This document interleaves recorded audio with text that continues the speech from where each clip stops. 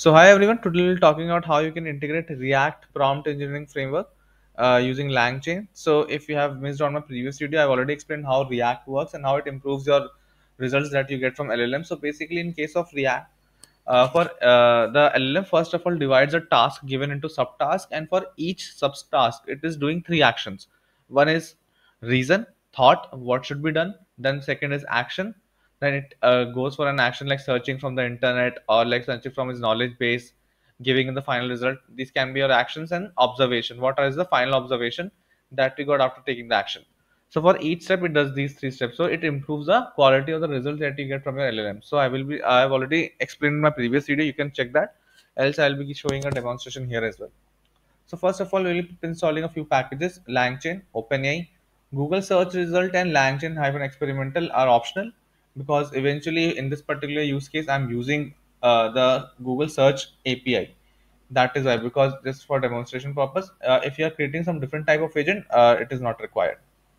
Now we'll be importing a few things. So basically, uh, we'll be uh, implementing ReAct framework using agent concept in uh, LLMs. I've already explained agents also, so you can refer to my previous video on how what is agents in LangChain.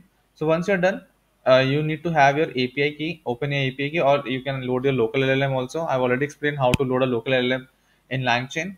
And for in my case, I'm using the search API also. So SERP API, I have already got it. So I've uh, added. So in case of the agent that I'm trying to create, so as I've already seen in my previous video, what is an agent? So agent can have multiple diverse tools that can help him. So basically the LM would be interacting with all these tools. So I'm providing the LM with two major tools. One is the SERP API, that is a Google search, and second is the LM math chain. This this will help him to uh, be better at mathematics. These are two tools that I'm providing. Not necessary you, you can have your own custom agent. You can do anything. Now comes the major part. Here you can see I'm initializing the agent where I'm providing the list of tools, the LLM. Agent equals to zero shot ReAct description. So this is the major part that you need to uh, take care. So the agent type is ReAct description and that is zero shot because we're not providing any example, right? Zero shot uh, ReAct description. So in this case, once we mention this agent type, now the response that we'll be getting is in terms of ReAct.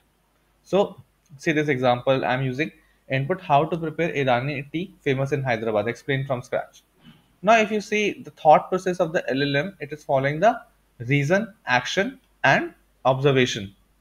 So it is first going for a thought then it goes for an action search then action input becomes Irani tea recipe step by step and then the observation what results it got after taking the action. So again thought action observation thought action observation. So this is what ReAct is. So eventually now the llm would be working in this particular format and giving you better results. And once the chain gets finished you get the final input as well.